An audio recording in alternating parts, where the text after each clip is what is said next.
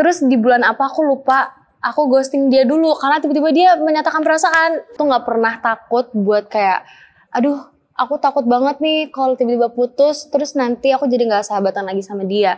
Kalau ada mama tuh aku lebih ngerasa uh, apa ya ngerasa ditemenin. Terus setidaknya ada satu orang rumah aku tuh yang ikut pergi keluar rumah sama aku gitu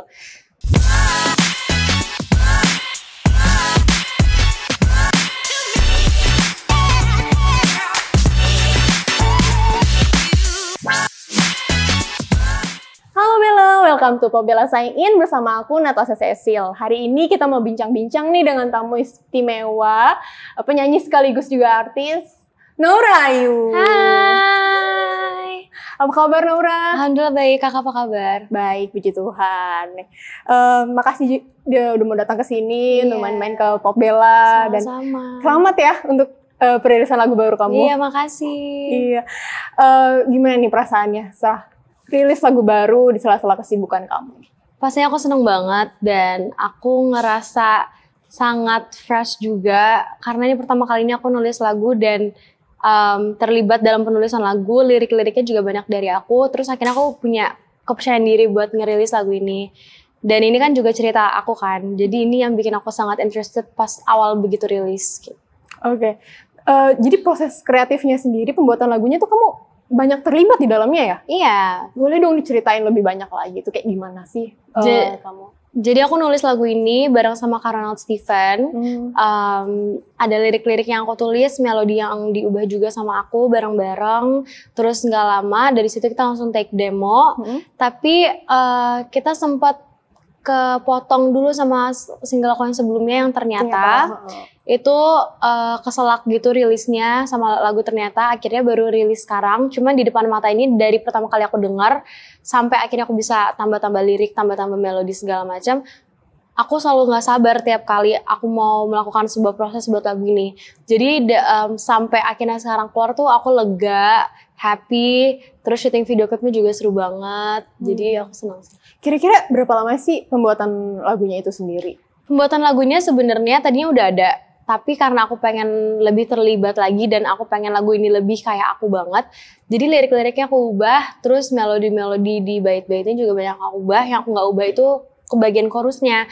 Di situ sebenarnya cuma cuma dua jam sih kayaknya dua hmm. jam cukup cepat karena komunikasi sama Ronald Stevennya juga gampang banget mudah banget terus kita sama-sama fokus jadi kayaknya itu yang bikin prosesnya tuh jadi cepat gitu. Oh keren banget ya Thank Nora. You, amin. Dan uh, aku juga lihat nih video klipnya itu kan kayak romcom romcom sama zaman sekarang banget hmm. nih ya hmm. itu kamu juga terlibat di dalam situ. Uh, untuk video klipnya sebenarnya aku pasti ngasih tahu aku pengennya kayak gini, looknya kayak gini, taste-nya kayak gini, vibe-nya kayak gini. Cuma untuk jalan ceritanya tuh aku serahin ke Niamo Studio mm-hmm. karena aku udah bener-bener um, ya udah percaya aja yang penting nanti aku tinggal syuting aja gitu. Oke. Okay. Nah kan uh, rilisnya si ternyata sama di depan mata ini kan cuma beda tiga bulan ya kira-kira. Hmm. Nah uh, perbedaan apa sih yang ada di ternyata sama di depan mata ini? Yang pastinya beda karena di depan mata itu yang aku ciptain hmm. satu. Terus kedua aku ngerasa di, di depan mata ini lebih upbeat lebih fresh. Kayaknya lebih lebih bikin aku happy gitu dengernya. Kalau hmm. ternyata kan dia medium beat gitu kan. Terus di depan mata ini bener-bener yang cerita aku dan keluar dari aku sendiri gitu. Kalau ternyata kan emang ada cerita yang kebetulan sesuai sama cerita hmm. aku. Jadi aku ngerasa lebih memiliki lagu di depan mata sih. Oh gitu. Oke. Kan uh, kamu bilang dari pengalaman sendiri hmm. dari kamu sendiri. Nah Kira-kira apa sih yang mau kamu sampaikan dalam lagu di depan mata ini? Ada cerita apa sih di, dari lagu di depan mata ini? Um, Sebenarnya ceritanya yang lucu adalah uh, dari sahabatan kan sekarang kan cewek cowok kan nggak tahu nih kayak bisa nggak sih cewek sama cowok sahabatan aku tuh tadinya percaya kalau kita tuh bisa loh sahabatan uh. tapi ternyata sampai aku kemakan omongan aku tadinya sama sahabat cowok aku tuh kayak iu lo tuh nggak banget kalau udah nggak ada cowok di dunia ini baru deh gue mau sama lu gitu uh. sama dia juga gitu kayak tapi dia tuh katanya pernah pas hmm. awal-awal kenalan tuh sempet yang kayak nggak aku tuh udah pernah uh, ngeliat kamu tuh dari story teman-teman aku hmm. dia bilang gitu dan aku hmm. bilang kamu cantik tapi aku kan nggak kenal dia bilang gitu abis itu uh, pas awal kenal tuh emang aku pas pertama kali ketemu juga aku berasa kok nih orang tuh ngeliatin mulu ya hmm. terus dia tuh ngeliatin ngeliatin tapi dia ada rasa nggak enak hati segala macam jadi dia tuh nggak bikin aksi apa apa jadi kita ya udah sahabatan sampai akhirnya tiba-tiba um, kayaknya dia gerak juga akhirnya. Kayak oh gue deketin deh gitu. Tapi dia juga pas sahabatan kita juga yang kayak ih apaan sih lu? gitu-gitu. Hmm. ternyata terus orang-orang sering kan kayak ih kalian tuh cocok loh cocok loh. Terus aku kayak ih nggak banget deh nggak dulu. Makanya pas tiba-tiba jadian ya Allah itu aku umpetin dari sahabat aku tuh susahnya. Ya Allah itu lama itu lama aku coba untuk umpetin karena aku malu kak. Jadi sebenarnya inti lagu itu itu Tapi ini pengalaman pertama kamu berarti yang sahabat jadi cinta gitu? iya Wah. Oke. Nah, di dalam lagunya ini kan kamu menggandeng Fadi Alaidrus nih Iya. kan jadi modelnya. Kenapa sih kamu pilih dia dan emang bener ya lagu ini tuh untuk dia? Iya, karena kebetulan sahabat yang dari tadi saya sebut tuh dia. Dia Jadi modelnya itu emang karena kan dia juga aktor kan. Jadi aku nggak yang kayak ya udah asal pilih ya udah deh sama pacar sendiri aja terus Mhm. jadiin dia modelnya enggak karena emang kebetulan dia kan juga ada eh, dia seseorang terus ini emang lagu tuh buat dia aku tulis juga karena dia jadi aku nggak mau model itu tuh tiba-tiba orang lain yang meranin karena kan aku udah ngerasa memiliki lagunya banget Hmm. jadi aku ngerasa sampai video klipnya juga tuh aku harus ada rasa relate sama diri aku sendiri gitu loh. Mhm. Jadi orang kalau nonton kan juga kalau kita ada rasa kepemilikan terhadap karya kita sendiri, orang bisa lebih gam, lebih apa ya nerima itu lebih lebih sesuatu Happy, gitu. oh, Iya. lebih bermakna lagi Mm-mm. gitu ya. So sweet banget. ya ampun.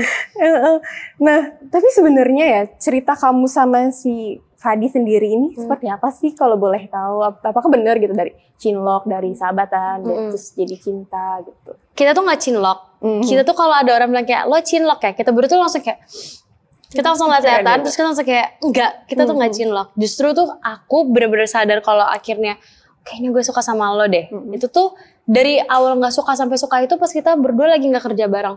Bener-bener kita lagi ngelakuin pekerjaan masing-masing dan kita ya udah kayak em, ketemunya tuh pada saat kita lagi mau main aja, pada saat kita lagi mau nongkrong, di situlah tiba-tiba muncul. Karena mungkin kalau kerjaan kan, aku ngerasa kita stuck di situasi yang sama selama Hmm. berbulan-bulan, baper gitu-gitu tuh hal yang kayak semua orang bisa Hmm. ngelakuin itu. Hmm. Jadi aku ngerasa itu antara worth it dan gak worth it Hmm. gitu loh. Kalau jatuh cintanya karena cinlok. Dan buat aku trust issue aja gitu, nggak keuji bener-bener 100% kayak bisa aja dia ngelakuin semua effort ini buat kita karena kita lagi di lokasi yang sama dan ya udah gitu loh. Bangun chemistry aja gitu. Dan kayak di situ tapi kalau begitu off kerjaan, Mhm. oh dia udah main di produksian lain segala macam, dia ini masih sama aku terus aku Ah. yang kayak oh kayaknya iya deh gitu. Berarti berapa lama sih kamu eh, sahabatan dulu baru akhirnya pacaran gitu? Sebenarnya sahabatannya nggak lama, Nah. cuman ini salah satu guy best friend aku yang langsung kliknya tuh cepet. Oh. Jadi kita kenalan tuh dari Februari, dari situ langsung akrab. Terus di bulan apa aku lupa, aku ghosting dia dulu karena tiba-tiba dia menyatakan perasaan. Itu tadi kak. Kayak aku kaget gitu mundur, ya? Iya, Oh. akunya mundur. Aku kayak nggak yakin dong, kayak hah ini seriusan gak sih nih orang kok tiba-tiba nyatain perasaan gitu. Hmm. Apa dia nggak sengaja Ya. gitu? Karena emang dia juga nyatain perasaannya kayak orang nggak sengaja nyatain gitu. Terus ya udah aku kayak eh, mundur. Mhm. Terus aku sempat ghosting dia dua bulan dulu. Itu nggak aku plan sama sekali. Emang perasaan aku belum sama aja Hmm. gitu. Karena kan harus meyakinkan diri aku kan. Terus ya udah akhirnya sampai akhirnya mau berarti lumayan lama sih kayaknya. Lumayan Hmm. lama gitu. Oke. Eh, buat kamu sendiri ya, sosok Fadi itu seperti apa? Pasangan yang seperti apa sih? Hmm, baik sih, Hmm. baik, sabar banget. Yang aku bisa bilang tuh dia tuh sabar banget. Karena aku itu eh, kan anak pertama ya, Hmm. anak pertama, cucu pertama. Kadang-kadang tuh jiwa independen aku tuh keluar tanpa aku pengen. Dan aku tuh paling seneng kalau aku diemong. Dan Betul. satu-satunya orang yang bisa, eh, kayak orang yang bisa emong aku tuh papa aku. Mm-mm. Papa aku sama mama aku. Mm-mm. Even sama Niona pun adik aku, dia lebih sering ngomong aku daripada aku ngomong dia Oh. karena eh, lingkungan aku di mana pun tuh nggak akan bisa ngomong aku gitu loh karena mereka ngeliatnya kayak oh Naura anak pertama adik-adik pasti kalau orang ketemu aku yang ditanya adik-adik lu gimana Hmm, gitu iya. kan terus jadi aku kayak tiba-tiba nemu sosok Fadi yang dari sahabat aku tiba-tiba oh dia bisa ngomong aku juga jadi aku kayak eh, seneng sih terus nyaman juga gitu Oke, Eh, kalau dari kamu sendiri, ada nggak sih tips buat teman-teman di luar sana juga yang Hmm. lagi menghadapi situasi sahabat jadi cinta atau friend zone dan mereka tuh takut kayak, aduh gue nggak mau nyatain perasaan, ah takut jadi ngerusak persahabatan. Hmm. Gitu. Kira-kira dari kamu ada tips ya? Aduh, sebenarnya ya kalau mau tahu gimana, aku tuh nggak pernah takut buat kayak, aduh, aku takut banget nih kalau tiba-tiba putus, terus nanti aku jadi nggak sahabatan lagi sama dia. Karena menurut aku, kalaupun kalian udah berani untuk menjalankan sebuah hubungan, berarti kalian udah siap dengan segala um, uh, konsekuensi yang bakal ada. Dan kalaupun amit-amit putus, kalian Hmm. akan kehilangan tali persahabatan kalian, itu konsekuensinya dan putus itu pasti ada alasannya kenapa kalian bisa jadi uh, nggak dalam hubungan yang baik lagi. Kalau bisa putus baik-baik ya bagus gitu. Tapi kalau misalkan kita udah bisa putus sama pasangan kita yang tadi sahabat kita, berarti artinya there's a reason yang bikin kita nggak nggak perlu mempertahankan itu lagi. Jadi Hmm. menurut aku nggak usah dipressurein ke takut putus ke situ Hmm, dulu. hmm, hmm. Kalau misalkan emang perasaannya lebih besar, logikanya dipakai tapi juga masih pengen, coba aja dulu dan coba untuk jalani hubungannya tuh sebaik mungkin. Oke, dicatat ya Bella. Oke, Em, eh, balik lagi nih ke lagunya kan. Ada nggak sih eh, lagu lain juga yang mungkin terinspirasi dari pengalaman pribadi kamu selain si di depan mata ini? Um, lagu aku yang ril- rilisnya dua tahun lalu. Itu judulnya menikmati sedih. Itu lagu aku yang bener-bener aku juga uh, dari cerita aku sendiri sih. Dan aku ngerasa itu lagu aku yang underrated karena judulnya menikmati sedih kan. Hmm. terus itu tuh pada saat itu aku lagi sedih banget sampai aku mempertanyakan diri aku aku tanyain self worth aku terus aku jadi ngerasa kayak kok bisa ya orang gini ke aku? Aku sampai sedih boleh nggak sih aku sedih? segala macam. Tapi em, aku juga belajar gimana cara aku ngelewatin masalah yang bikin aku sampai merasa terpuruk gitu. Ya dengan cara menikmati kesedihan itu. Jadi diterima. Jadi aku nggak lupa. Kadang-kadang kan kayak ah lagi ada sedih terus kita nyari pelarian kan Iya. biar Ya, tapi jadinya lupa gitu loh nggak kalau dirasain segala macam begitu sembuh tuh ya udah itu tuntas selesai plong ya, harusnya Plong. lega.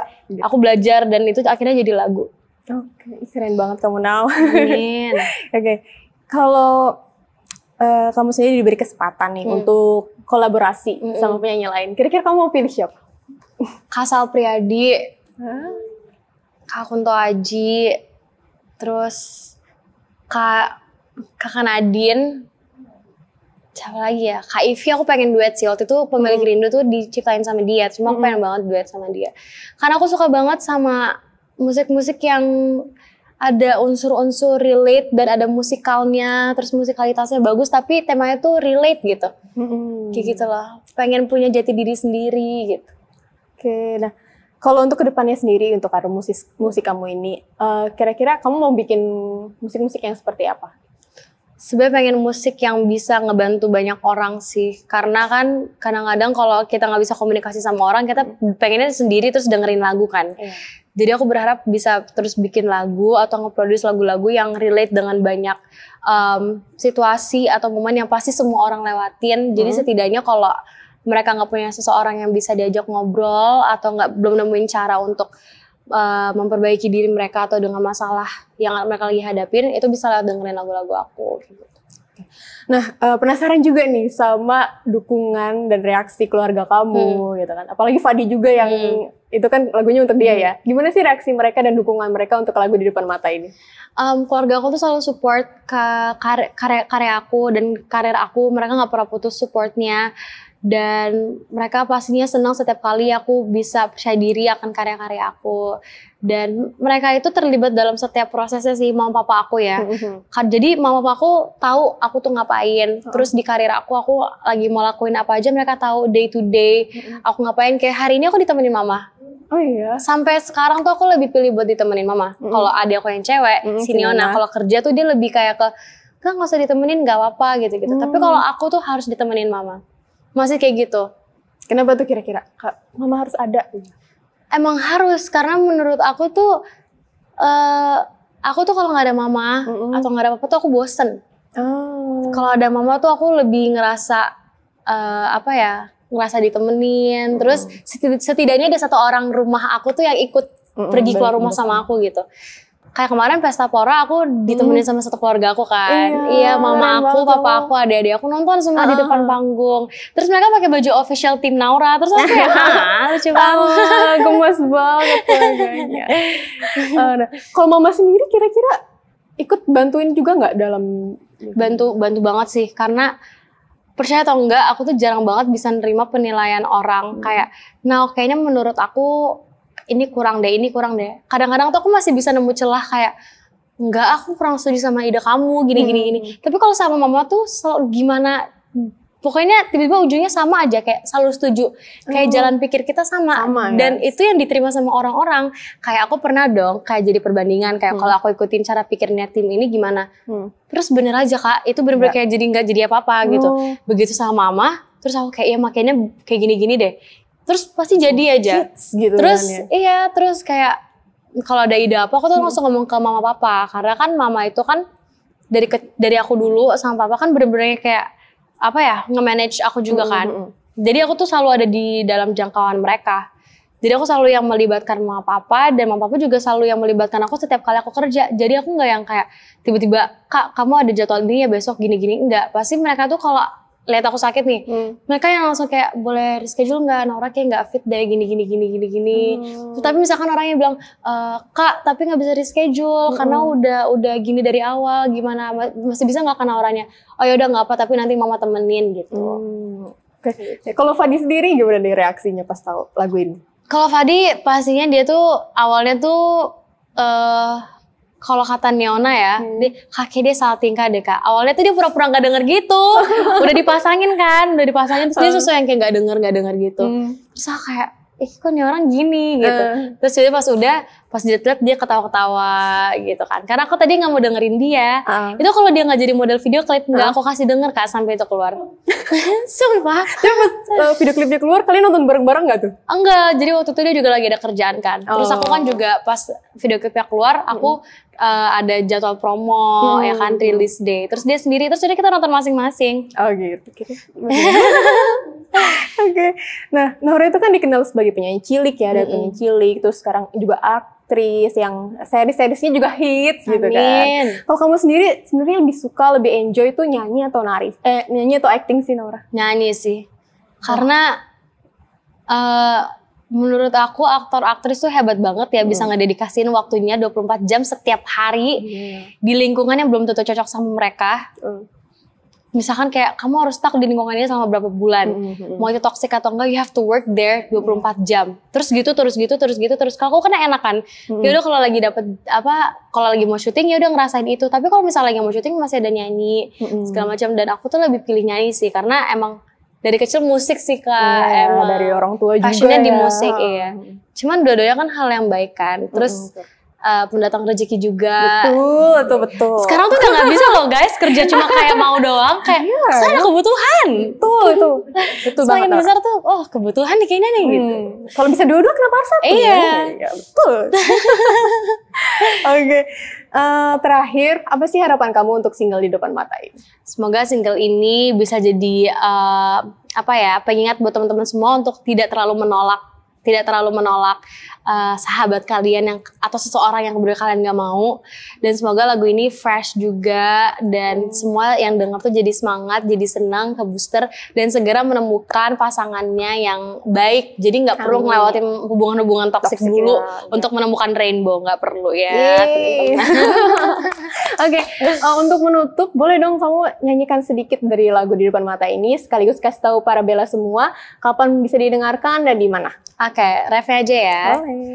Terlalu terbiasa habiskan waktu denganmu. Rasa ini tumbuh lebih dari biasa. Tak perlu kata-kata biar hati yang bicara. Cinta di depan mata. Jangan lupa ya didengarin di depan mata di semua digital platform mulai sekarang. Jangan lupa Bye. Thank Makasih you. Nora. Pabella sign Makasih. out. Bye-bye.